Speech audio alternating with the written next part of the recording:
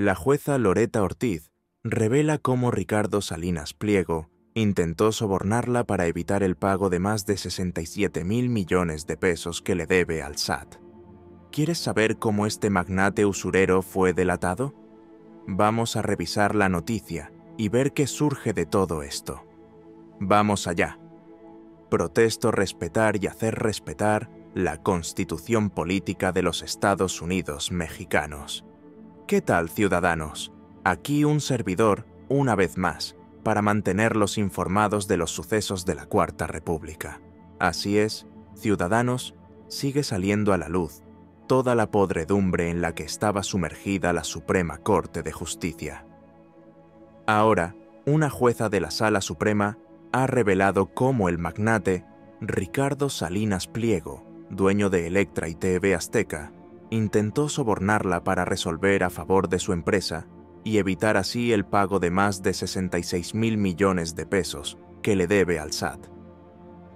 Vamos a revisar esta información porque hay fuertes declaraciones a tan solo unos días de la salida del presidente Andrés Manuel de su gobierno. Y no es coincidencia que Loreta Ortiz, jueza de la Suprema Corte, esté haciendo estas declaraciones en contra de Salinas Pliego.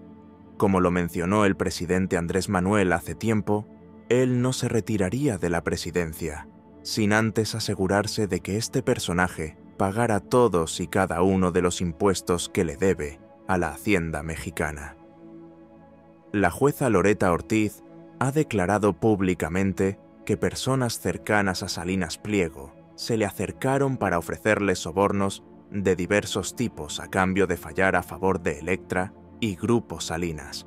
Vamos a escuchar rápidamente a la jueza, exponiendo toda esta trama de corrupción y destapando la cloaca en la que Salinas Pliego está a punto de hundirse, debiendo pagar miles de millones de pesos en impuestos a los mexicanos. Antes de comenzar como ministra de la Suprema Corte, vinieron del grupo Salinas y me dijeron que manejarían mi imagen, toda la publicidad. Yo no necesito eso, comentó Ortiz me ofrecieron boletos VIP para eventos con mi esposo o acompañantes. Y así continúa describiendo cómo se acercan con tentaciones. Pero ella, de manera firme, rechazó estos sobornos. Escuchamos claramente a Loreta Ortiz destapando la inmundicia en la que Salinas Pliego pretendía involucrarla, pero ella, con total libertad, decidió no ceder a este trato. Sin embargo, otros jueces sí sucumbieron ante las tentaciones del poder y el dinero. Recientemente, el 26 de agosto, la Corte admitió un recurso de Grupo Electra relacionado con un crédito fiscal de más de 33 mil millones de pesos, y el caso fue asignado al ministro Alberto Pérez Dayán, de la segunda sala de la Corte. Casualmente, fue Norma Piña quien lo turnó a Dayán, quien ya ha mostrado su favoritismo hacia Salinas Pliego recuerdan que la jueza Loreta Ortiz mencionó que le ofrecieron asientos VIP en eventos manejados por Grupo Salinas?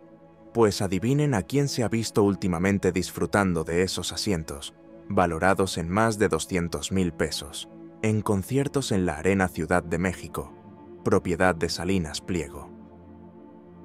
Como vemos en la pantalla, el juez Alberto Pérez Dayán ha mostrado su devoción a Salinas Pliego, aceptando sobornos que, en comparación con lo que realmente se debe, son una miseria.